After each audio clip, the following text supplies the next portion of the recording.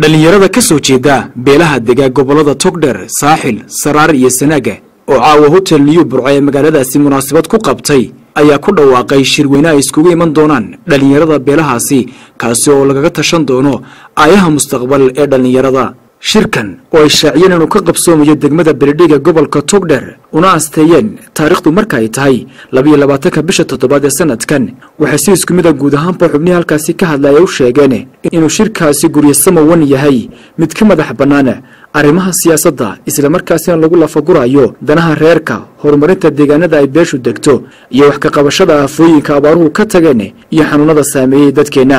Waxaana hadalladoodii ka mid ahaa sida tan waa gurmadka abaaraha oo ogtiinoo abaaro baahsan iyo weliba xanuuno ka dambeeyey. Ayaa isu ka raacay haddii aan laysmo qodobka labaad isku xidhka midnimada reerka gudan iyo dibadba innaga oo taa iyada qudheedana ka hadli doona. Ajendaha saddexaad aynu ka hadli doona waxaa weeye horumarinta deegaanka. Dhallinyarada beelaha habar jeclo ay danahooda kaga tashanayaan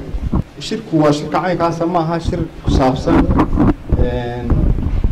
mid ay xisbidabada ka riixayo ama ma garanaysa waxaa ku saabsan maaha waxa weeye sidii halkaa laguma qaban karo. Waa lagu qabanayaa waa lagu qaban jiray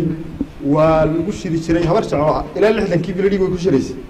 waana ku shiri doontaa ayaday kaga shiraysay taa waan ka raali gelinayaa dhallinyarada beelaha habar jeclo oo xaal baan ka bixinaynaa. Naalkan guryo samowan ilaa ka dhigo guryo samowan mid dhallinyarta aqoon-yahanka fakarkan halkan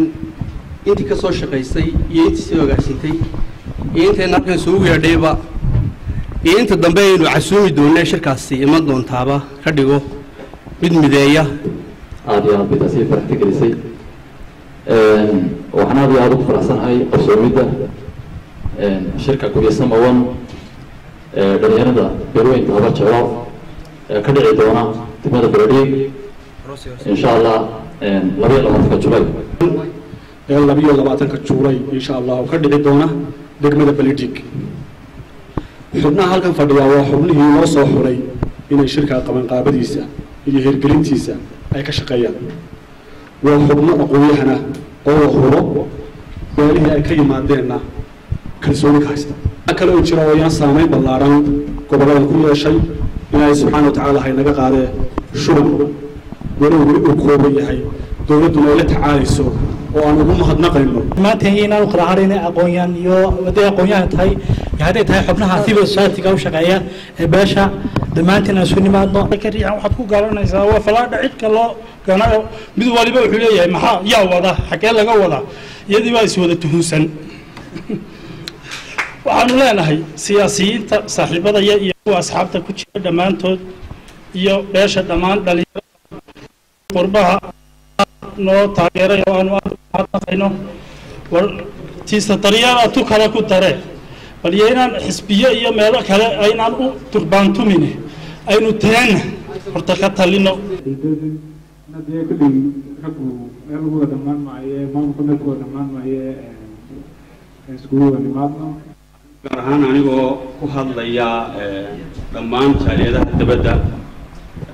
shirkan waan soo dhawaynaynaa waana shir aan in badan suganay waa gurisamo gurisamo ee lagu qowlay beledhiig oo wax loo baahnaa oo waxay ahayd maanta caqliga fuyowka saliimka ahayd inuu guda iyo dibadha jooga inuu taageero may ahayn wax inta stiiker meel la geeyo laba laba boqol doolar lagu soo bixiyo leerada ku mucaarada waana imanaysaa taasi doono beledhiig shirka la qaban doono oo ah kii dhallinyarada beelaha habar jeclo ama beelweynta habar waxaan leeyahay goobta lagu qaban doono oo beledhiiga aada iyo aad baan ugu soo dhawaynaynaa dhallinyarada astaysatay